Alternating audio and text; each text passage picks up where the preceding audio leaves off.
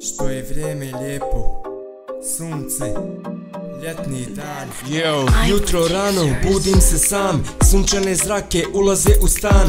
Puni mi energijom, budi mi san Kafa, muzika, napravim plan. Prelijep je ovaj ljetni dan U hotelu sam kao kralj. Osjećaj je cool, pozitivan Stavim naočale da kuliram Izlazim malo, šetat se van. Plaža, more, da se opuštam. Osmijeh, selfie na Instagram Izišao happy, glavna stvar Danas mi je i rođen dan Nevjerovatno se osjećam. Pozvat ću ekipu u stan. Razlog da proslavljam. Skupa sa njima uživam.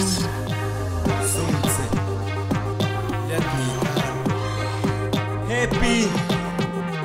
Yo. Prelijep ovaj ljetni dan. Na moru se opuštam. Osjećaj je pozitivan.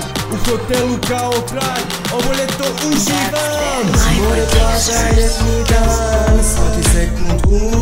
uživam Svako ljeto živim san Lagano se opuštam. More, plaža, ljetni dan. Svaki sekund uživam Svako ljeto živim san Make your own Lagano se with opuštam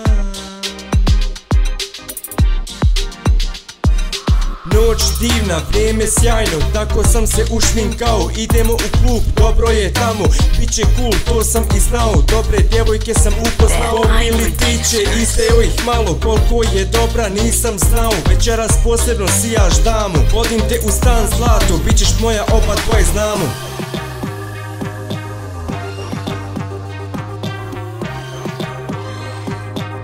Yo More, plaža, ljetni dan. Svaki sekund uživam. Svako ljeto živim san. Prelijepi sunčan dan. Lagano se opuštam. More, plaža, ljetni dan. Svaki sekund uživam. Svako ljeto živim san. Lagano se opuštam. More, plaža, ljetni dan